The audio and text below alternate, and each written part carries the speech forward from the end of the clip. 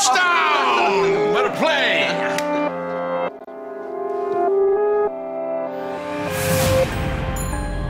You have no idea what he's like.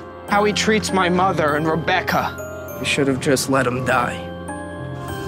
I'm really sorry about what happened to you. How much did you tell Christine about the Lundy shooting? You really are a lifesaver. I like taking care of you.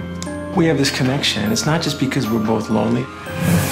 I was confused. I have a new lease on life. Thanks to you.